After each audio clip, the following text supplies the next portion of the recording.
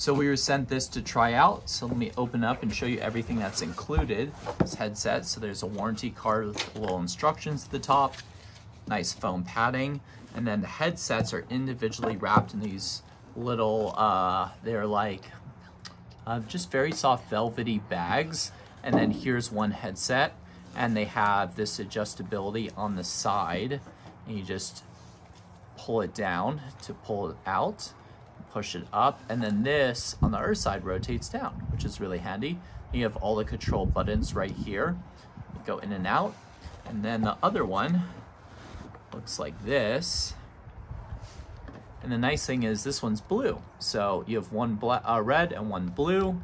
And then also in the box are the battery packs and the charger. So you have one battery per headset. And you have the nice handy charger. And the charger comes with a USB-C to USB cable. It doesn't come with a block, so you'll need to provide that yourself. And then it also comes with these little um, extra muff pieces if you need these. So overall, it's a really nice complete set if you're looking for great headphones like this. It's a great option for you.